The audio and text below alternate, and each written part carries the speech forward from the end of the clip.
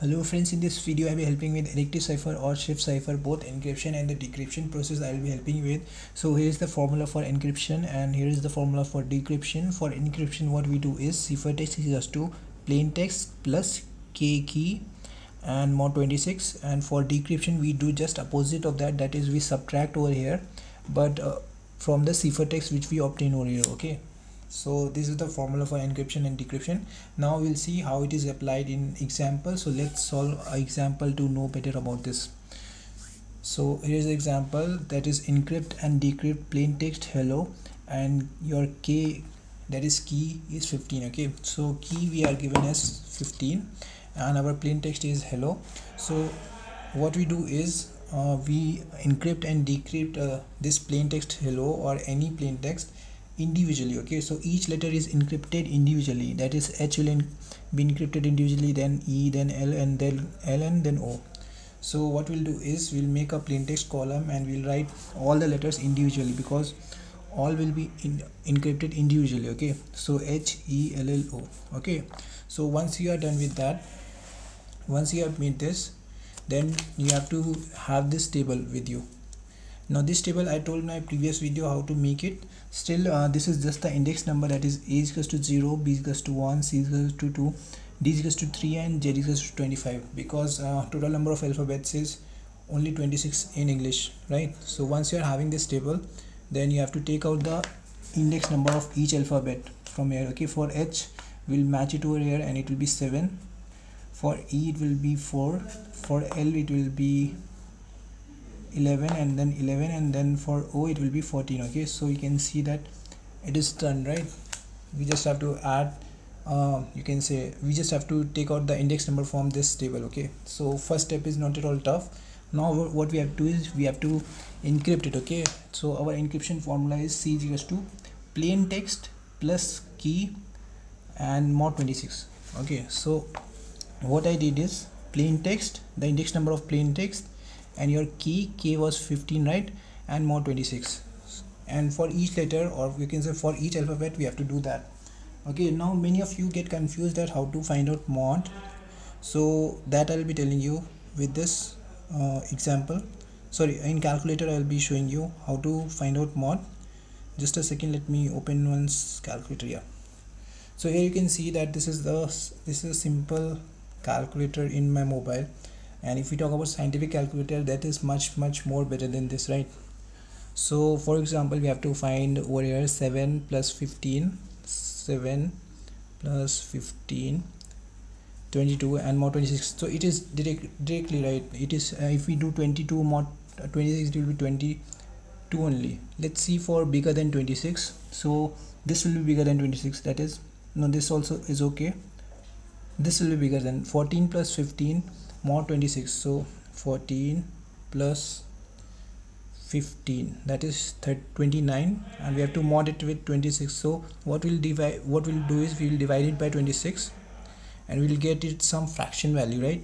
So we'll remove the left side of the fraction value and we'll keep right one.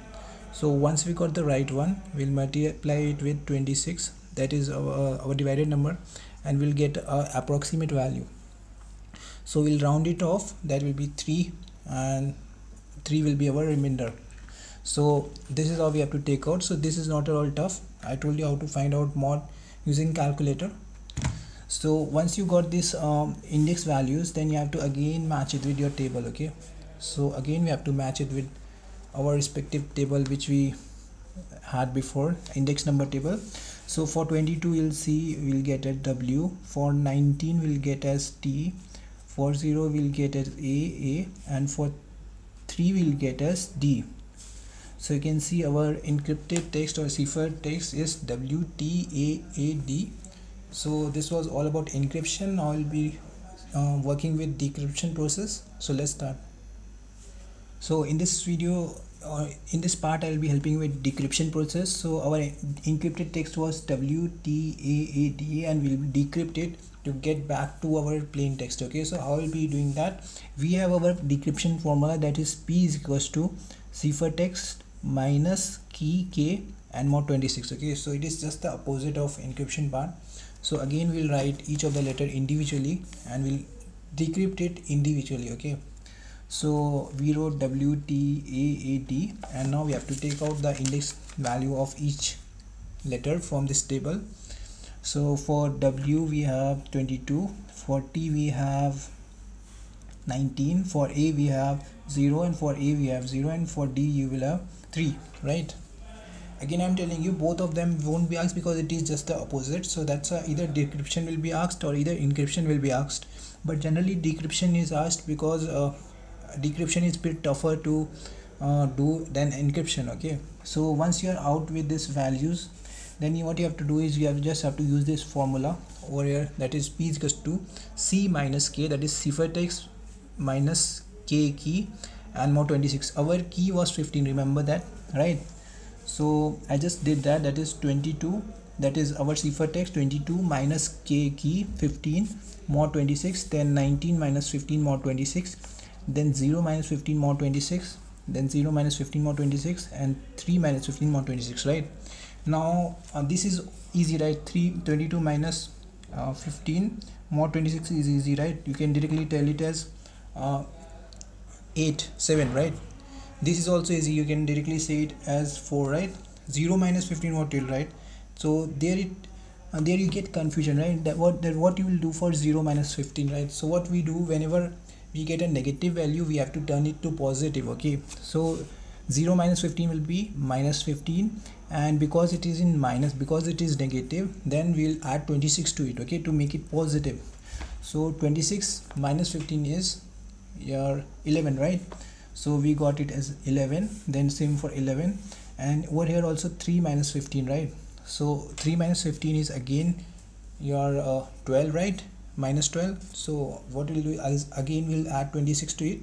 So minus 12 plus 26 will be 14 so we got the index value of plain text. Now the easy part comes. That is we just have to match it with table to get our plain text right? So 7 is our h 4 is our e and 11 is our L then 11 is our L and 14 is our O. So we got our plain text again as hello okay? So this was all about encryption and decryption using your additive cipher. So if you understood it do like the video do consider subscribing and if you have any doubt you can comment and I will help you eh, as soon as possible